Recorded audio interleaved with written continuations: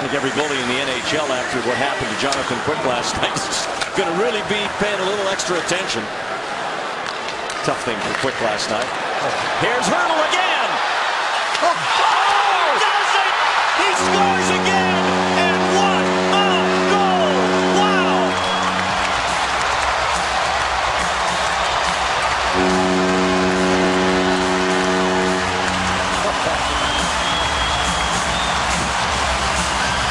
You kidding me?